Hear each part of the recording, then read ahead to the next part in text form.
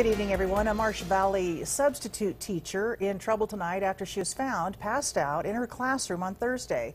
The substitute teacher, Chelsea Nicholes, has public intoxication and disorderly conduct charges against her now. The Bannock County Sheriff's Office is now investigating exactly how and why she was in that condition at Marsh Valley High School. Local News 8's Dennis Valera joins us now live in our Pocatello newsroom. Dennis, where does the investigation stand right now? It's still in the very early stages, Jay, since the Bannock County Sheriff's Office didn't get a chance to start investigating until this week. It's very seldom that we have this type of an event. We hope it never happens again, of course.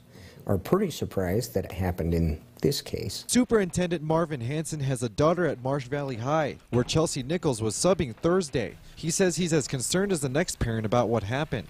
But when the school's resource officer found Nicholes disoriented, he had an ambulance take her to Portneuf Medical Center, then from there, jail.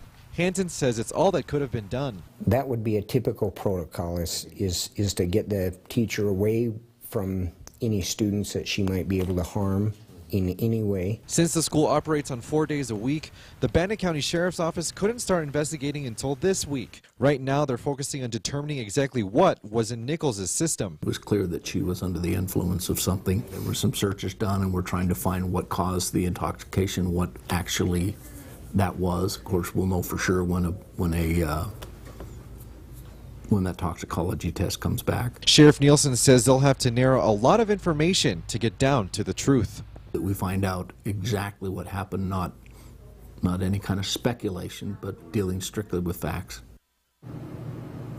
Sheriff Nielsen told me there could be more charges filed depending on the investigation. Live in the Pocatello newsroom, I'm Dennis Valera. Thanks, Dennis. When she was arrested, Chelsea Nicholes had a bond set at $550. She posted bond and is now free. Well, time to check in.